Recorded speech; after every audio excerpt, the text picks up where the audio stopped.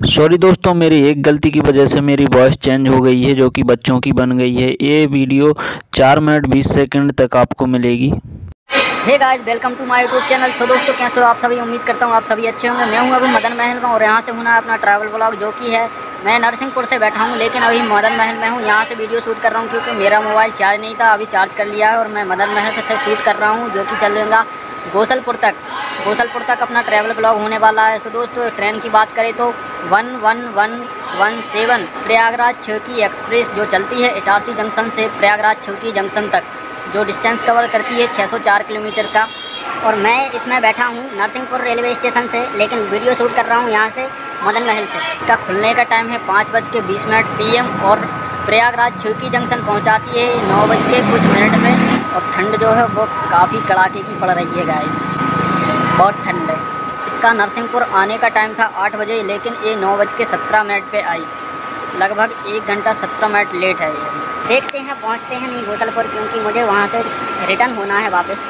जो आ रही है इटारसी एक्सप्रेस, जो कटनी से शुरू होगी। लेकिन अगर इससे पहले वो आ गई तो मैं इससे नीचे उतर जाऊँगा दोस्तों। मतलब गोसलपुर से और पहले उतर जाऊँगा मैं। उसके बाद में उस ट्रेन में अपन जर्नी करने वाले हैं।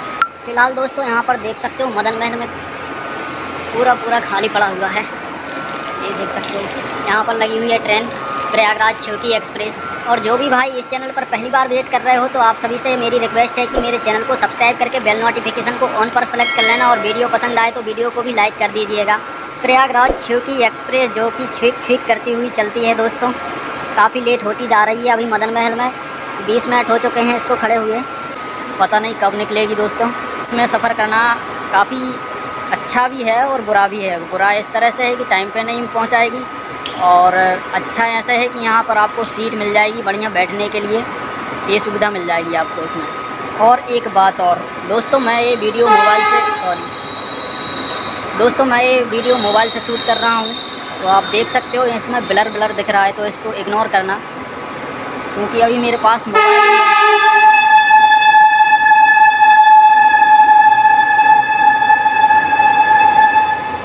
क्योंकि मेरे पास अभी मोबाइल ही है। कैमरा तो मेरे पास नहीं है अभी तो मैं मोबाइल से शूट करता हूँ। जितने भी ब्लॉग होते हैं, मोबाइल से शूट करता हूँ मैं। दिन का काफ़ी अच्छा रहता है, बेहतर रहता है अच्छा ब्लॉग बन जाता है। लेकिन रात में ये है कि इसमें ब्लर आता है। मोबाइल है छोटा सा एंड्रॉयड सस्ता वाला। अभी अपने पास पैसे वगैरह है नहीं ज़्यादा। और आप लोग से उम्मीद है, जो कुछ करवा सकते हो, सिर्फ़ आप करवा सकते हो। मैं तो इसमें कुछ भी नहीं करवा सकता। जितना ज़्यादा सपोर्ट आप करोगे उतने ज़्यादा अपना इनकम होगा। सही है? और आपकी डिमांड जो रहेगी, वो बताना मुझे ज़रूर है मैं आपकी डिमांड को पूरा करने की पूरी पूरी कोशिश करूँगा। तो दोस्तों, आधा घंटा हो चुका है, लेकिन हमारी ट्रेन अभी भी यहीं पर खड़ी हुई है छीक छीक कर रही है। सच में बहुत मतलब आपको समय बिताना है तो ये ट्रेन बेस्ट है आपके लिए, मेरे लिए, सभी के लिए। अगर समय बिताना है तो। और अपने डिस्टेंस की बात करें तो दोस्तों 111 किलोमीटर का डिस्टेंस है नरसिंहपुर से गोसलपुर रेलवे स्टेशन तक। मैं आ रहा हूँ थोड़ी देर बाद। हाँ।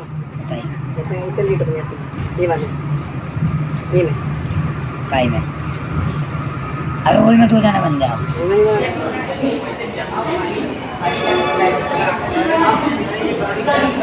नहीं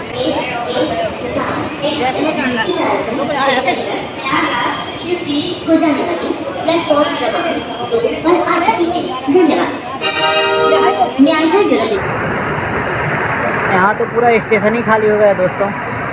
जबलपुर जंक्शन की बात चल रही है यहाँ पर।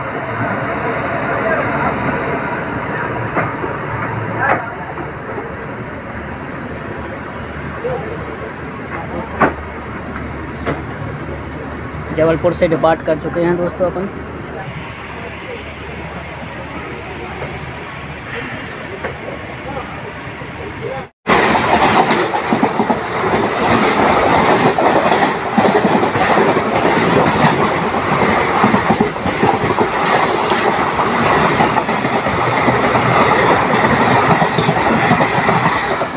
दोस्तों, मैं बाथरूम की वीडियो नहीं बना रहा हूँ, आप समझदार हैं। क्यों नहीं बना रहा हूँ मैं इस वजह से? ये देख सकते हो गाइस पूरी खाली है।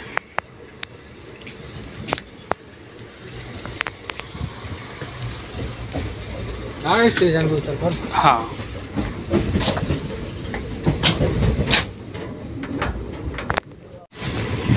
सो so, दोस्तों फाइनली गोसलपुर आ चुका है। लास्ट स्टॉप है अपना। 111 किलोमीटर का पूरा डिस्टेंस अपन ने कवर कर लिया है नरसिंहपुर से गोसलपुर रेलवे स्टेशन तक का।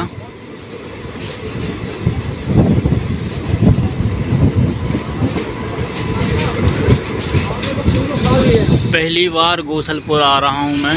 छोटा स्टेशन छोटा स्टेशन दिख रहा है मुझे। ज़्यादा बड़ा नहीं है। फाइनली दोस्तों गोसलपुर पहुँच चुके हैं। और काफ़ी अच्छा सफ़र रहा, लेकिन लेट हुई गाड़ी। क्या है कि समय बिताना है तो इसी में बिताइए। बस इसके लिए है ये ट्रेन। और बाकी का आप खुद कर सकते हैं, जैसे कि आपको समय बिताना है तो इसमें जाइए, समय बिताइए।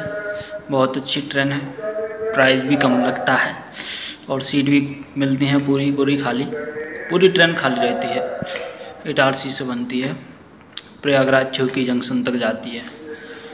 तो चलिए दोस्तों, मिलते हैं अगले ब्लॉग में। तब तक के लिए जय हिंद, वंदे मातरम। मेरे चैनल पर पहली बार विज़िट कर रहे हो तो इस चैनल को सब्सक्राइब करके बेल नोटिफिकेशन को ऑन पर सेलेक्ट कर लेना।